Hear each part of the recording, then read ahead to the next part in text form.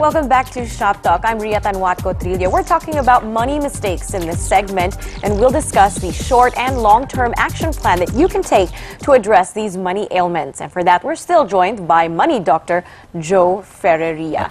All right. So we talked about all the negative stuff, all the bad habits, all Yeah. the symptoms Yeah. of being in trouble. Now let's talk about the solutions. Solutions, yeah. Right. You have short-term treatments and long-term treatments. Let's start with the short. Uh, if you're in trouble, okay? Uh, people are very interested in that. If you're in trouble, number one is get out of denial mode. Okay? A lot of people uh, fail to fix their problems because they don't want to admit that they have a problem. Okay? Second is talk to your family. You cannot do it alone. You need a support structure so that you will move forward with the action plans that you need to do. And build a plan. Okay? Uh, write it down on a piece of paper. Yeah, we have short memories, no? right? write it down on a piece of paper and stick to it.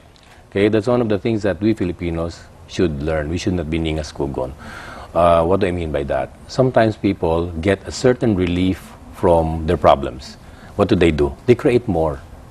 Okay, because they depart from plan. You stick to your plan. If your your plan is to remove all the debts from your life, go right ahead. If your plan is to simplify uh, the way you live your life in terms of where you live and where the children go, you should do that. no? And this is something very important. You need to drive your expenses down to 70% of net income. If you don't do that, your problems will repeat. Okay. Okay, because you'll not be able to save any money. Okay, so ideally you should be saving 30% of your net income Yes. if you're married. If you're Yeah. single, it's slightly different. Uh, 50% um, should be what your, uh, your expense ratio should be. In fact, the best savers in the world, uh, they've said, is the Singaporeans. They save 70% of their income. Baliktad. Uh, the Japanese save 50%. okay. So we need, as a nation, need to be a nation of savers. We need to save more so that we can invest. All right. What else are the short-term treatments that you have? Well, uh, build a system of saving money. The way people save money can be as varied as your personality. I'll tell you a little short story. I was in Starbucks. Oops, I'm sorry about that, but I was in a coffee shop in, In a coffee shop In, somewhere. uh, I was in a coffee shop in Santa Rosa one time, and the barista was looking at me and say, uh, because I was wearing a white barong. When I came to the counter, she said, "Are you a priest?" I said, "No, I'm not a priest. I'm a financial planner." And the first thing she tells me is, "You know, I want to save money, but I never could save money." I said, quick fix. When you get home, you buy, get a garapon. You know what a garapon is? A glass jar with the metal bin on, uh, cover on top. I said, when you enter the house, put it in a place that that's the first thing you will see. And the, any coin in your pocket, you put it in the garapon. Okay? You do that for a week or two weeks. After that, you change, you move that uh, uh, glass jar to your room. Now you cannot see it when you enter, but the same procedure. You put it. Then eventually change it with the baboy. Okay, you know that pig, the multicolored pig. I like pink because you can see it right away. Put it in your room. Now you cannot see how much money is being accumulated there. When it was in the garapon, you get motivated because it's growing. Right. Okay, it's in the baboy. It's not. A month later, you bring that pig of yours to the bank and put it in. And every month thereafter, on the same day, same time, you deposit any amount of money, whether it's 500 pesos, 100 pesos, I don't care. You save the money. Okay, very simple. You need to understand that saving is a habit that you need to put into your life. And because it's a habit, there should be a pattern. Okay, that's a very simple tip. You know, the barista was, uh, I think she gave, gave me more coffee than necessary because of the free advice. For the free advice. Yeah.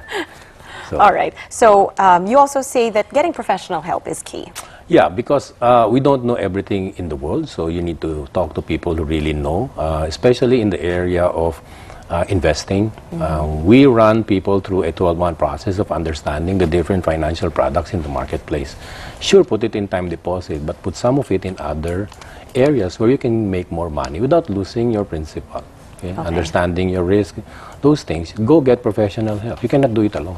Okay, these are the short-term treatments. And you mentioned a 12-month period. Is that considered short-term when you're solving financial Yes, problems? yes. Uh, after you go through a 12 month of learning, you can do it your, on your own, you know, if you want to learn on your own, but it would be best if you have a professional with you. The more solid and long-term proposition would be to come up with a holistic plan that involves your entire life. Mm-hmm. When do you intend to retire? What do you want to do when you're those are the long-term things that you need to put in place and how do you invest your money for that Right. So it's good to have a guide. Yeah. Uh, even, for example, you we buy a house. Then we make the house bigger and bigger and bigger and bigger.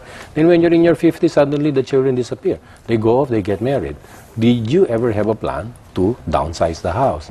Those are long-term solutions that you should put in place. Yes, buy the house, but when do you downsize it? People don't like selling houses because they say, I'm selling my memories. But you know, you have to be a little bit more practical in today's world. Right, right. My dad always says, never fall in love with an investment. Yes. There- There's a price for, for everything, right? Yes, yes. yes. All right, okay. Going on to uh, the long term solutions that you have, Hmm. um, you're saying that after you fix your financial fundamentals, invest your money. Start making your money work for you. Yeah. Um, the way to protect yourself is to allocate. No, that's the first thing that I suggest to people. Allocate it over several. They call it technically uh, asset class.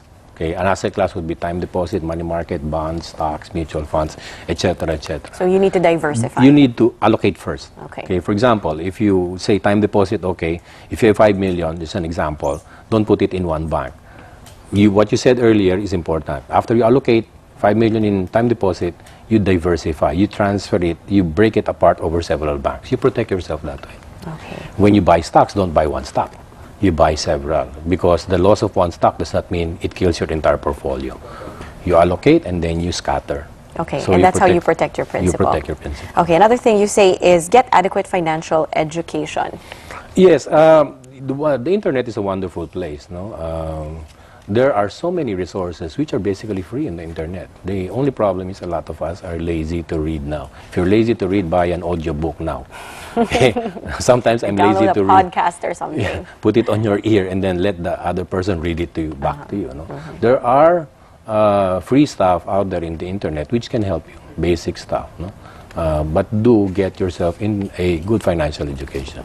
All right, learn to live a simpler life. Yes. Uh, sometimes when we make life more complex, it becomes unhappier. Okay, when you have too many cars in the garage, we we scratch our head. Which one will I drive today? It makes me more complicated. I'll be happy with one car or two cars. No? Right, Uh, you can only ride one car at a time anyway. right? live simpler. You know, there are entertainment out there which is really free and will not cost you a lot of money. Okay, walking around, even in your own subdivision, walking around looking at the houses or the trees, uh, calms you down. That's good entertainment rather than sitting down and just watching TV. Right. That's true. That's true. That's a more simpler life. Okay. And you say also to have a clear financial goals and begin right away. Yeah, people tell me I want to do this, and I tell them, okay, let's do it. What do we do? We open an account. Whether you put in 100 bucks, 500 bucks into that account, it is of no consequence to me. But psychologically, when you set, say, this is what I want to do, and you do the first step, which is to open the account, you have begun. Rather than I say it, but I have never begun, so it never gets done. Right. When you begin, then it's only a matter of continuing what you already have begun. First step, always First the, step. Hmm. the most important. Um, and another uh, piece of advice that you have in terms of giving uh, long term fixes for money ailments is don't be a financial ignoramus. Yeah. Right. Yeah. So yeah, if you don't understand yourself. it, yeah, if you don't understand it, ask. There's no crime to asking it. Right. you know, uh, I was in a seminar last week, and uh, on the second day, the lecturer discovered who I was no, in terms of experience in the Mm-hmm. field, and they say they were a little bit intimidated. They say, no, my long-term view always is you need to constantly study. Uh, You cannot be an ignoramus in this world. You cannot say, no, it was never taught to me. You need to pursue knowledge because it's good for you. It motivates you, it makes you excited to live your life or work harder. Exactly. And things are always changing, so you always have to keep up with, with exactly what's out there. Okay, so you also, um, what you've done for us is you've also sort of summarized the healthy money habits that people should be having all the time, hand in hand with this. So you say people make mistakes about money all the time, but don't be afraid of them, confront them, and resolve them. Yeah, well, well uh, if you look at it, you know, I was watching a video one time of one person in the United States. He was talking about making mistakes. He says, failure. You know, your failure, nobody sees it. Why should you be afraid of it? His failure was he lost the election. It was even televised. Why should you be afraid of a personal failure which is very small? You have to put things in perspective. Don't be afraid. People make the same mistakes Okay. as you did. Right, right. So he's, you also say uh, make saving money a habit. We already Yeah. talked about that, whether Yeah. you have a piggy It's- bank or it the has to be it has to be a pattern of putting aside money. You know, you Yes. pay yourself. no? Right. Make it like brushing your teeth. Hmm. Um, be an educated investor. Don't be carried away by the crowd. What does that mean? Uh, a lot of people get into scams because of that, eh, uh, because they want more returns. Uh, history has proven that. And if it's too good to be true, it Yeah, probably and then, is.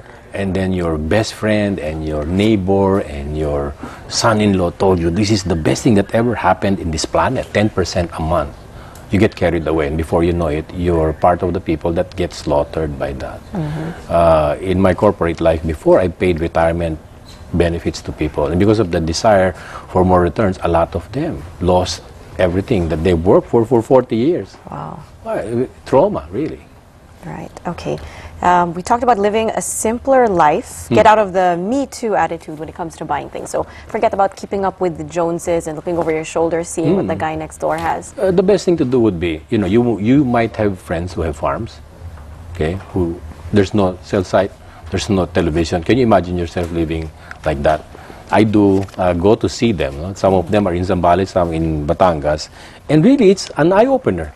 People do survive without television or even cell phones. Or it's not some. For me, I cannot do that. I cannot do that on a 24/7 basis. But what it just teaches you is really you can simplify things in your life. It doesn't have to be too complex. Right. Exactly. Go, going back to the simple things, right? I Hmm. think there's a lot to be said for that. Okay, you also talk about using your credit card wisely. Um, as much as possible, you know, I tell people be a convenience user. Use your card because you cannot carry around with you a ton of money to buy, for mm-hmm. example, a television set.